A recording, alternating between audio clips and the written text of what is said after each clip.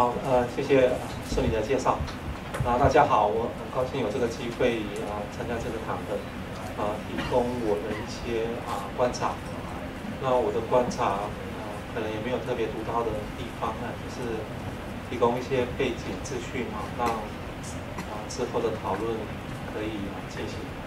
那我今天会讲的比较慢一点啊，其实也没有特别的原因，只是我的表达能力不是很好。讲快的话特别容易出错，然后今天也也有录影录音啊，那如果讲错的话就会记录下来啊，这个事后就比较麻烦，所以今天也不能讲一些场地不合的笑话啊，场地不宜的笑话，所以我们知道说这个一旦一个人被观看的时候会改变他的行为啊，也许这个跟今天的主题是也是有相关的。那我今天讲的就是三个啊。大家应该也蛮熟悉的一个概念哈，就是描绘哈，profiling，或啊跟踪哈，tracking，还有这个大众监控哈，mass surveillance 哈。那我就把我的啊了解跟大家分享一下，我想也没有特别独到的地方，不过我还是啊说一遍这样子。那 profile 描绘的话，大家可以啊了解，就是说。传统上的认知就是说，比如说啊，警察在办案的时候，他会根据目击证人的啊，在案发现场的一个视觉的记忆，把这个可能的嫌疑犯的这个生理或容貌啊，根据目击证人的描述把它描绘出来，包括他的头发颜色，可以的话眼珠的颜色、身高啊，是男生女生，是矮是胖啊。身体有没有特别的特征啊？那这些生理容貌上面的属性啊，啊，其实啊，并不是当事人所独有的啊。就说这个嫌疑犯是男性，但是很多人都是男性；这个嫌疑犯有黑色头发，但是很多人都是黑色头发。但是这些个人的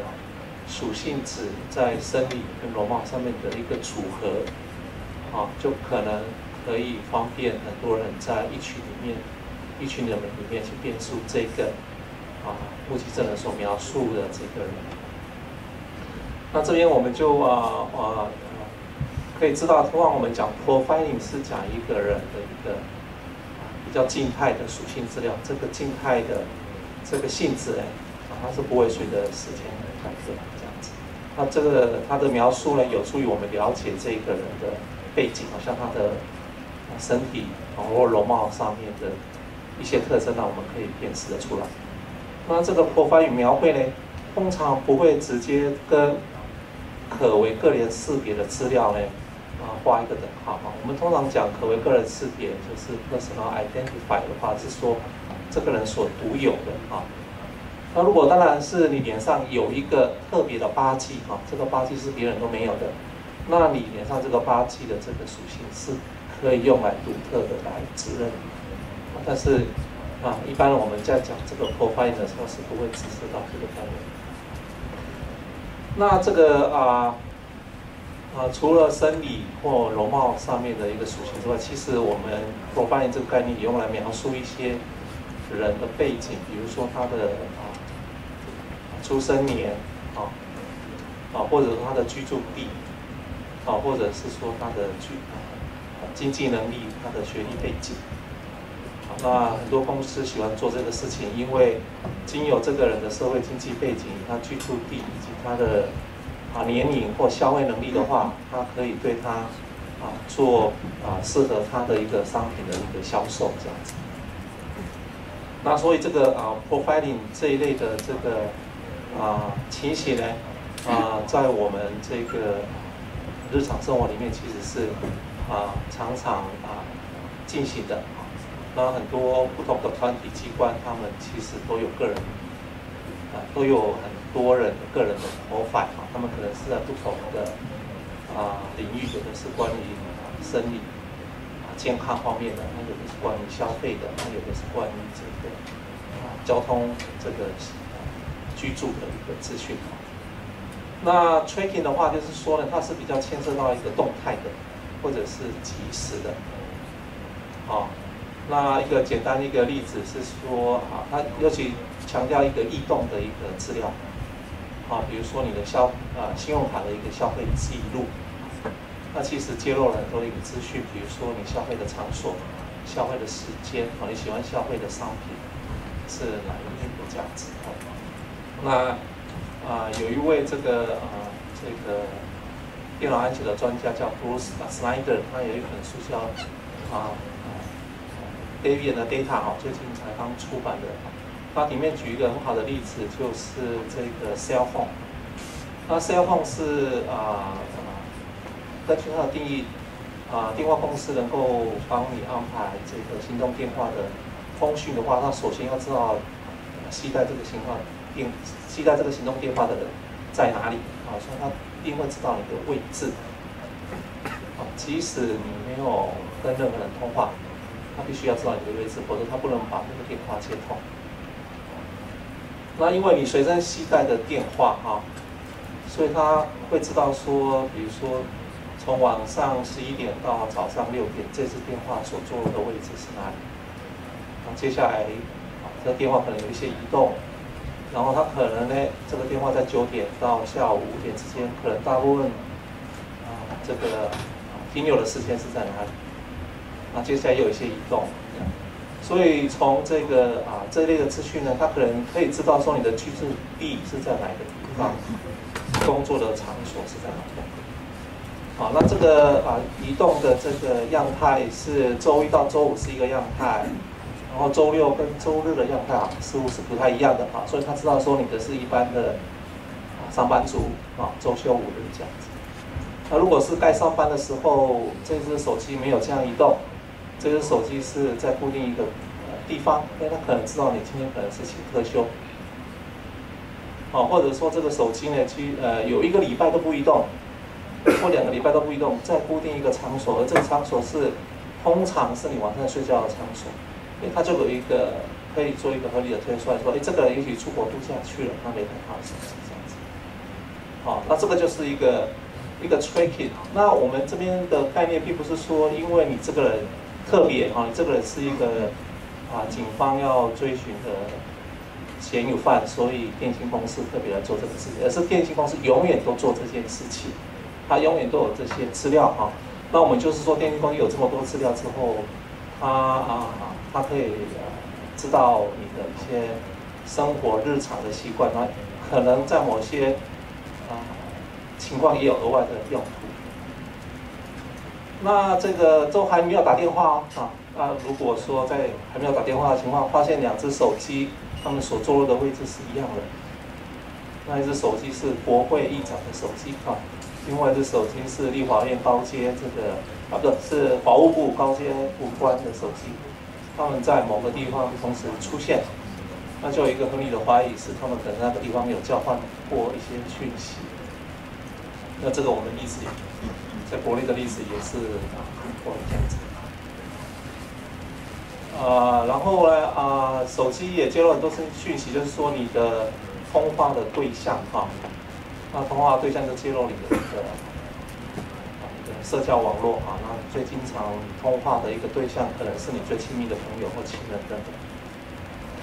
那这个除了手机之外，我们日常生活会被常被追踪，就是你使用浏览器的时候，你上网的时候。那上网，我想大家都知道这个 cookie 啊，就是说，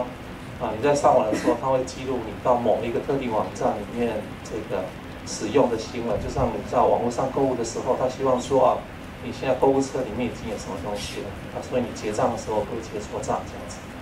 那这个网站它喜欢收集啊这样的一个资料，但是啊，比如说这类的追踪这类的啊啊行为，它其实不需要知道这个上网的这个特定人他到底是哪一个人。他是希望说知道这个人上网的习惯是什么。他除了到我这个网站之外，他要到其他的网站去没有？然后这两边是不是资讯如果汇合在一起的话，会对这个知道的更多这样子？所以现在在网站上被追踪的是啊一个啊呃一个很大的生意啊，尤其是很多不同的网站，他们会联合啊发出共通追踪的这个 cookie。那这些资讯的话，这些网站可以共同分享。所以你造访 A 网站，那接回来再造访 B 网站，B 网站会知道说你先前已经去过 A 网站的，啊，你在网站上面有兴趣的商品是哪一类，所以在预网站里面，它这一类的商品也许可以这个啊特别的显示给你看这样子。好，那啊再举一个例子，呃，我最近买了一一台蛮厉害的电视，这台电视是会上网的啊，因为现在都有 Internet TV 哈。当然买这个电视你是没有强制说。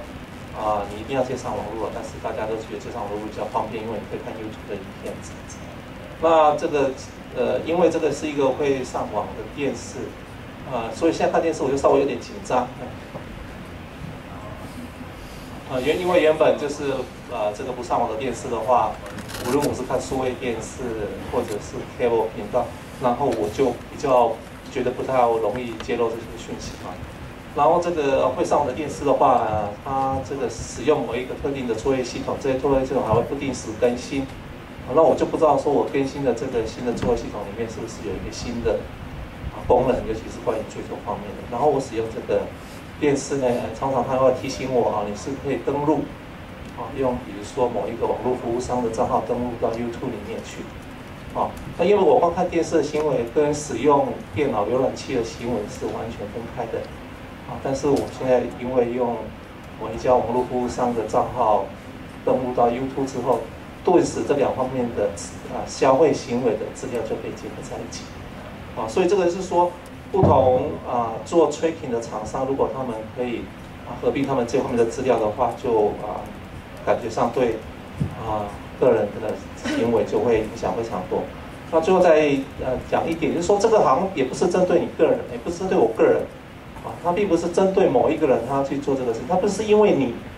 啊，所以我们来做这个追踪的事情，而是说他对所有人都做这个事情，啊，所以这个就称为这个 mass surveillance，就是大众监控。那目前做这一类的这个啊公司非常多哈，那呃，然后我们就会讨论一些伦理的问题，啊，不是法律，也是伦理的问题，因为这些消费的行为是消费者自愿提供的，似乎是，那收集这些消费者啊。浏览或消呃消费的资料之后，它可以对每一个个体分别去做客制化的广告啊，所以它是拿你的消费行为整理之后拿来对付你，好，那这个对付的方式也许是知道你啊，根据你的活法知道有某一类的弱点啊，你对某一类的商品呢，你可能最按耐不住，所以它就给你放这一类商品的一个广告这样子，那这个是我们啊。啊，现在所啊面临的情形，那做这种大众监